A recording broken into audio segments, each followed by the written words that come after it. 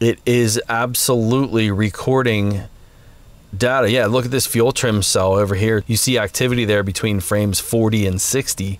I was not on that screen at all. You guys have no idea how important that that information is to be able to have data that's recording off of the screen is something that I'm not seeing the Autel do. Um, only my Snap-on does it. This tool may be the answer for you guys that are starting out in the field and you want an inexpensive scan tool that offers you enhanced diagnostic capabilities to read multiple modules on a car and to be able to do bidirectional controls. This could be the guy.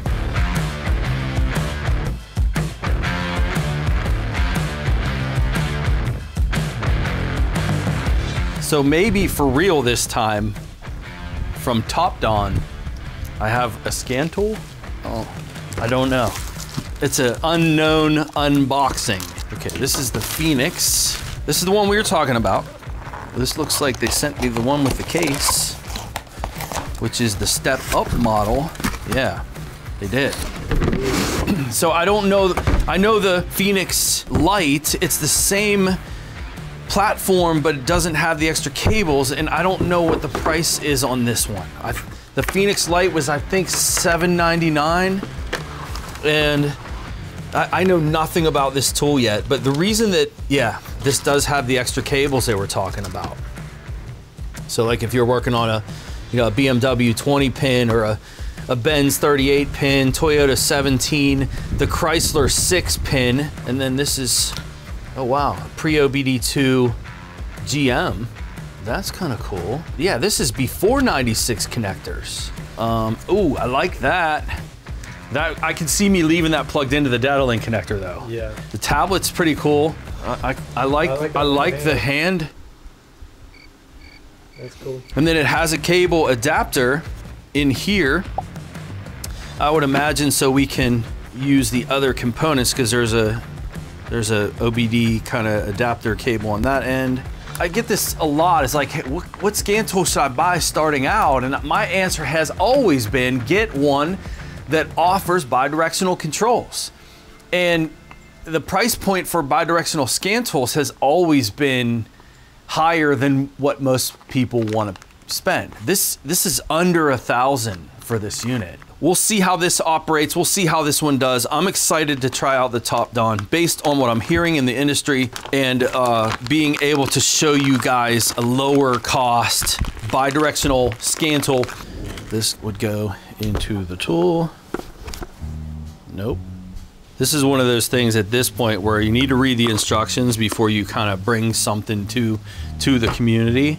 Like a, this is a, a female end how do I adapt this guy? this is stupid. You can't figure out how to use it. no.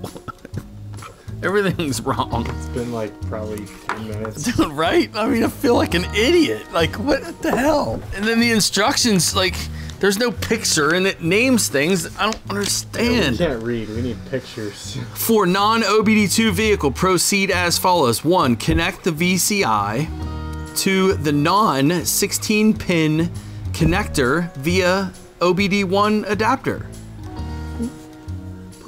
All this is is an extension cable, and I believe the reason it's like red and yellow is so you don't forget your you don't forget this. That's why they recommend to use it. I'm guessing that. I don't know that for sure, but that's kind of what it seems like. And then, you know, what we're having issues with is we do have a 16 pin type connector here. How do we adapt from here to you know, one of these other OBD1 adapters. Like, I, this is really the only cable that will connect. This is the worst unboxing ever. Dude, tell me about it.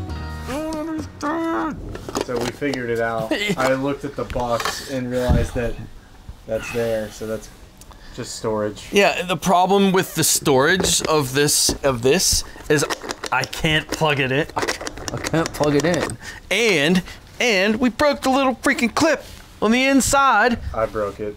Yeah, but all you did was pull it out. Why, why won't it plug in? I don't know, but yeah, that port is just to plug the little Bluetooth thing in. Uh, and that makes sense. And so They sell the version without the case, so right. you would need somewhere to store it. Okay, in, in which case then these adapters, that is exactly what we were saying, which is your Bluetooth here, you're plugging your um, OBD or pre-OBD, so we were talking about Chrysler, there's your pre-OBD2 adapter, and then you have your, you know, whether you're going to the battery for power supply or you're going to um, the cigarette lighter for power supply, these older systems required that for communication. So you were actually powering up the DLC circuit. That's why you have that there. There's literally no pins inside of there. And uh, that's to store your, I guess, for the Phoenix Lite that doesn't have all the cables, that's basically this and this is the Phoenix Lite. And so this would be storage for your DLC, Yep. which, like, for whatever reason, doesn't plug in. Well, the reason is we broke it. Well, I- I mean, uh, now we know what this definitely is for too. All this thing is is an extension. We and literally it tried being- to plug everything into the, the scan tool. It being red and yellow is like, hey, don't forget me. I like that. And then you know our storage. I don't. I don't know why. I, I want. I want, to. I want to force it, but I know that that would be a bad idea. All right, so yeah, that was the worst unboxing ever. Is the tool any good? I don't know yet. We're gonna use it on a car here soon and show you. So I, when you went upstairs, Caleb, I had to take this apart because I had to know. I had You to took know the whole thing apart? Just this part Oh. uh, to see why this wasn't plugging in. And uh, as you can see, it was. It's just real sloppy. And the reason it's real sloppy is because we broke that clip that holds that in place. And all it is is a piece. Like this is totally replaceable, which is nice. Like we could get, you know, Topdon to send us another one of those. it's it's the clip. Now you can see where it broke inside. Look, this guy, right, right there. That's what kept that in place. And Caleb and I were like, "Well, what plugs in here?" I think it's important that we keep this version as a public service. I announcement to probably, I, I would agree with you. And here's what we did: we're like trying to, you know, this We is tried to plug listen, everything but this into is it. what guys do. We don't pick up the owner's manual first, right? We just got to see what plugs in where and try it. This, it's designed for this. And and if you look at the two, the differences in in these guys is One's open and one's not. yeah, and and that might be enough where that clip would grab this a little bit tighter. Oh. and so when we It snapped. when we pulled it out, we snapped I snapped heard it. it snap too, and I thought it was just unclipping, and then I was like, "Why does nothing plug in?" There? All right, so here's your if you guys, you know, we haven't even tested the tool yet. But if you decide you're going to buy one of these, just know that all this top piece is is a holder for your DLC dongle. That's good enough for this right now. Let's get it hooked up to my truck real, quick and just see how fast the data is, what the data uh, recordings look like, and then um, also seeing what kind of bidirectional tests we have. All right, just so you guys are are aware, I- I've never used this tool, so there's going to be things that I will unintentionally possibly misrepresent, and so I don't want to go through all the different features of the tool. I, I think probably local diagnostics is where I would want to go for what I'm doing.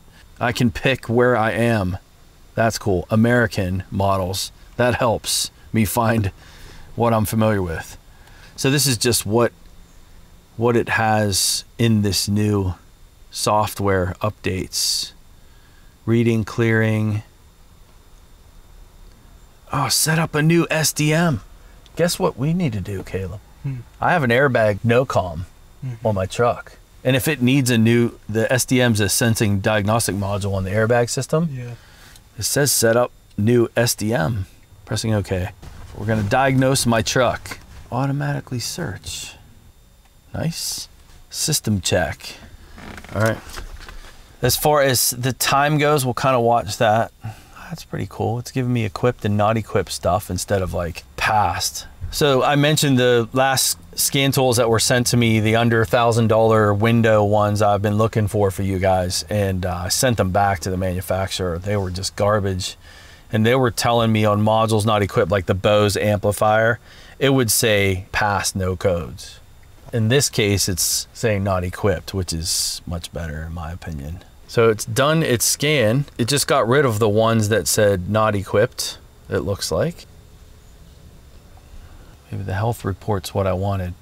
The system scan that I just did just told me what modules were available. I thought it was both the same. Like system scan was not only telling me modules available, but it was telling me uh, what the faults were in them. I just needed to do a health report. I read health report and I'm thinking global OBD2 where you get like the, your readiness monitors, your health report. And I, I misidentified that as far as what that was exactly. All right, so what do we have going on here? EBCM, low brake fluid indicated. Ooh.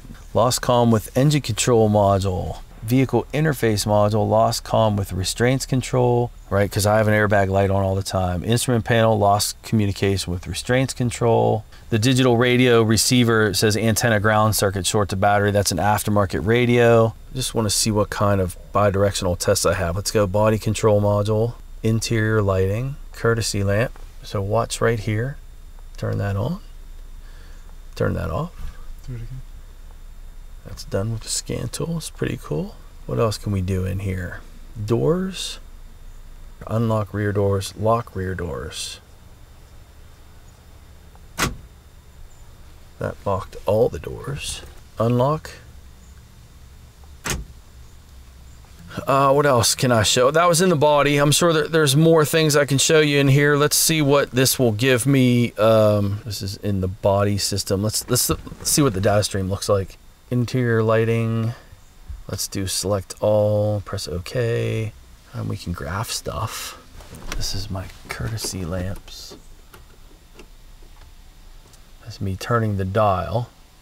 So to say you're going down the road, you're looking at some changing parameter. For this data, can I freeze it? I can zoom.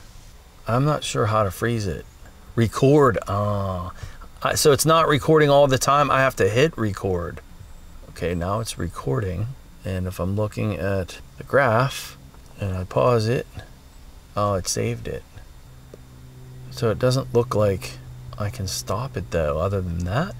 This is the kind of stuff that I need to be able to play with the tool more and bring to you guys. My apologies for that. Let's keep moving. Let's get out of here. Let's go to my engine management system and then we'll just wrap this up. Really what this will boil down to from this point in time, I can't, you know, endorse the tool and be like, oh yeah, you guys definitely want this. You're just gonna see the tool in the videos that we're doing and um, we'll be able to bring you real time usage of the tool. This is on my engine, special functions, idle, learn, reset, that's cool. Crank position variation, Heated O2, learn, oil life reset, all good stuff. Read data. So there's 62 in this list.